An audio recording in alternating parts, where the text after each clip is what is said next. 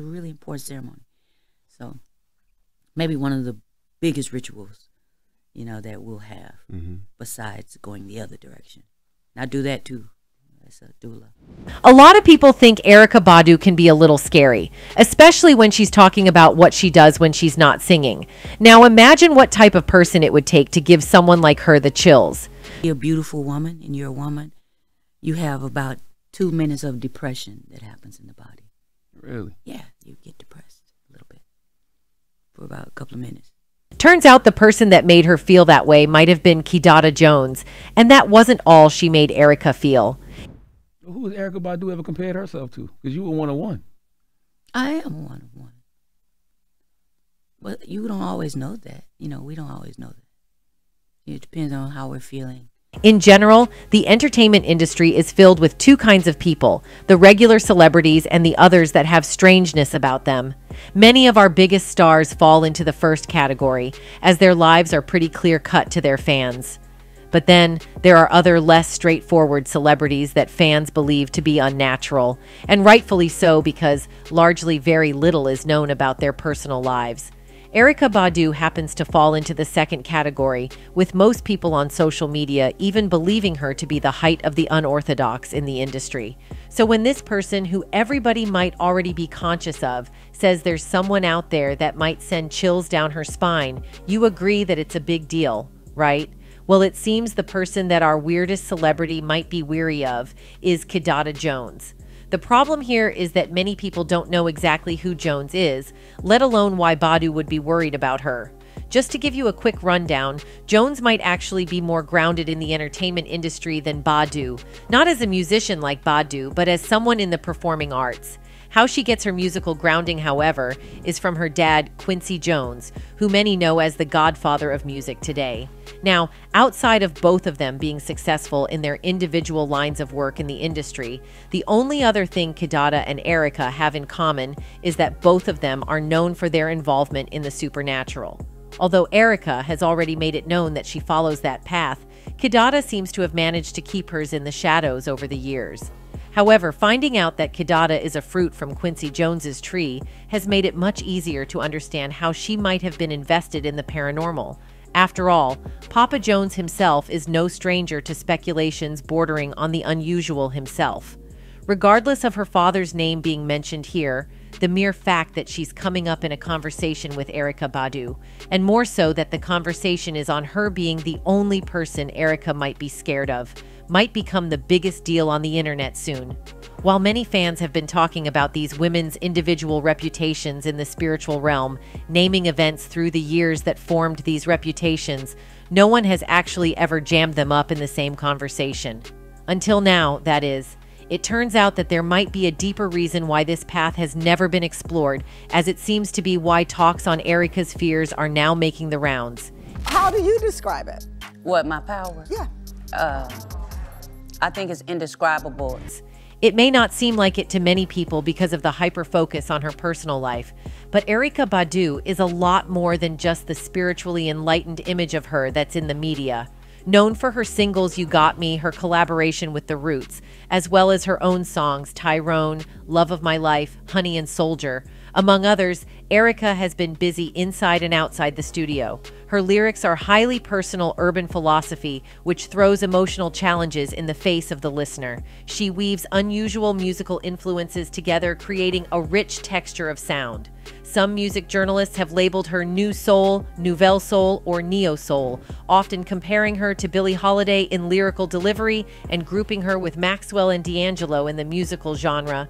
Badu received notice for her introspective lyrics and jazzy, bass heavy sound and was hailed as one of the leading lights of the burgeoning neo soul genre, as well as her own blend of spiritualism.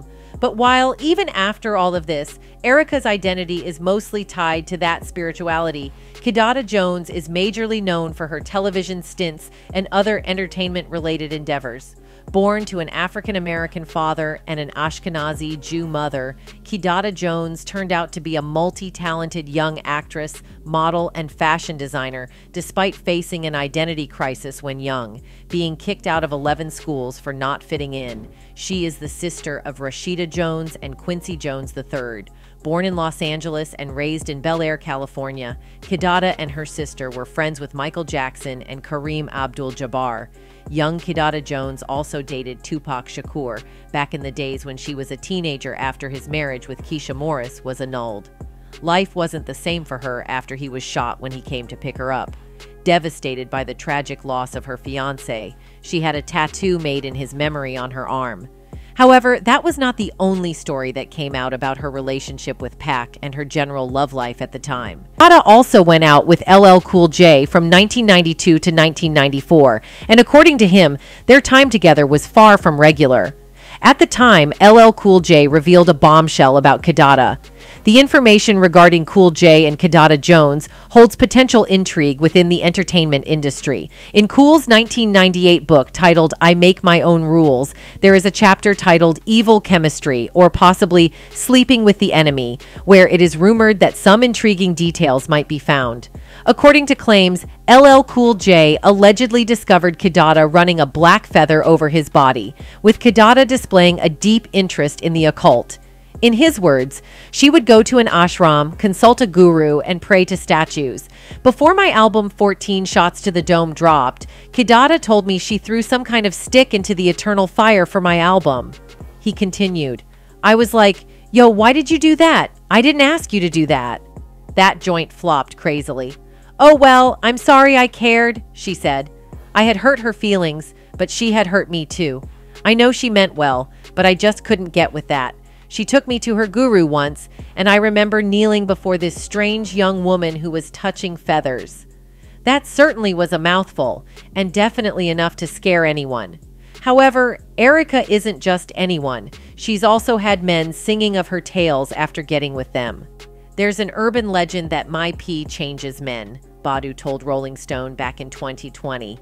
The men that I fall in love with and fall in love with me change jobs and lives. A lot has been said about your bedroom, the Yes. mystical powers. You came out with the It's the urban legend. The soul singer again addressed her so called bedroom powers during an appearance on the Tamron Hall show. The subject was brought up after the host played a clip from Vogue's Objects of Affection series, in which Badu gave an extensive tour of her home studio, aptly dubbed the Badudio. Hall said, So that's a studio slash bedroom, and I thought, of all the rooms that she would take us in, a lot has been said about your bedroom, the mystical powers. You are keenly aware of the urban legend that men can't look you in the eye without falling in love. I don't know what's happening. I just, you know, but how does that affect? Cause the are you are you single now? I am. Okay, so how does it affect? You know, when a man knows I'm going to look at her and I'm never going to be able to forget her. Yeah. Women, too, and children and animals, any living, breathing thing, Badu said before she was asked to describe her so called powers. I think it's indescribable. In the bedroom, that's not where you're going to find it because my magic doesn't lie between my thighs, it lies between my ears. Badu, who was single at the time, has been romantically tied to music figures like Jay Electronica, Andre 3000, and Common. Common spoke about the Badu mythos during a 2014 sit down with the Combat Jack show. Yeah, the Badu box is real, the rapper confessed. It can take you to another universe, but seriously, that's when you meet somebody that's really special and you're like, man, this woman got, she got something else, man. It ain't just the S, it ain't just the looks. It's like something that's kind of like spirit wise, where you're like, this woman got something else. Notice how the stories that have gotten out about both women came from men they had been with. Not only that, but these men spoke about these things concerning their jobs and the music business. The fact that these men had such stories tells you that whatever Erykah might be practicing, Kidada probably knows something in that line as well. And for Erykah to even be scared of her, it means Kidada might be much more diabolical. All of these seem speculative, but Kidada's past makes it easy to see how even someone like Erykah might be weary of the actor. For starters, you know how I mentioned that she went out with Tupac until the rapper passed earlier? Well, there are claims that she might have actually been behind the Brooklyn rapper's fall. I remember one night he was like, you know, you can date whoever you want, but you will not bring Tupac to my house. That's one rapper you will not be dating. In an earlier episode of Fat Joe's Instagram series, Keyshia Cole revealed a startling narrative regarding the terrible night of Tupac's untimely demise. Keyshia Cole had previously revealed that Tupac had stated his need to break away from Death Row Records and sign a contract with Quincy Jones Company before to his untimely murder in 1996. During a Fat Joe Instagram live session, Cole described how MC Hammer introduced her to Death Row Records. It was then that she met the label's co founders, Tupac and Suge Knight. It was just weird though because like the night that he was saying he wanted me to work with him when we get back to LA, it, it seemed like he was talking. The scene was set for a momentous encounter during the weekend of Mike Tyson's infamous Vegas fight, coinciding with the tragic night of Tupac's shooting. Not only Coley but also Kidada, who was Tupac's fiancée, as well as Coley's brother, a rapper from the Outlaws, found themselves intertwined in this tumultuous narrative while being in town. Cole recounted the intimate conversation she had with Tupac during those crucial moments.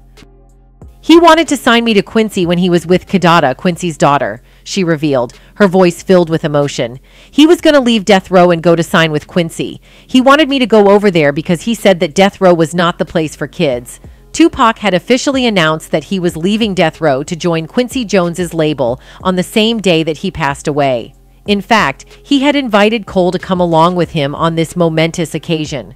Regretfully, Tupac was fatally shot in Las Vegas on that exact day. Nonetheless, several months before his tragic passing, there were reports that Tupac had entered into a relationship with Kidada Jones, Quincy's daughter. It was rumored that this connection was, in part, an attempt to retaliate against the music mogul for what Tupac perceived as advances towards him. Tupac Shakur and Kidada Jones's romance had an unusual beginning, full of unexpected turns and twists that ultimately resulted in an unexpected love tale.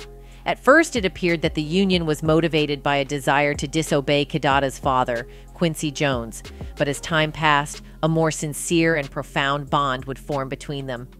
He said all this kind of not very nice stuff about my dad and mixed families and mixed kids and how it's messing up America. The foundation of their bond can be traced back to a contentious interview in which Tupac Shakur openly criticized Quincy Jones for his romantic involvements, particularly focusing on his interracial relationships and the mixed race children that resulted from them.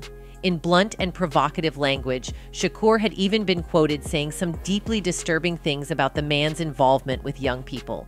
The media was captivated by the controversial comments, which clouded Quincy Jones's personal life and sparked a contentious discussion. Rashida Jones, the sister of Kidada Jones, joined the argument in response to Tupac's inflammatory remarks. She analyzed Shakur's moral position in a biting piece, criticizing him for what appeared to be disdain for a great person such as Quincy Jones. Rashida had a close relationship with her father, and she was adamant in her support of him. Buzz was so, you know, he's one of those really transparent people. Everything's kind of on the surface, you know, and like buzzing. And However, Destiny had its own peculiar way of choreographing unexpected encounters, as several months later, Kidada Jones and Tupac somehow found their paths converging in an intriguing twist of fate.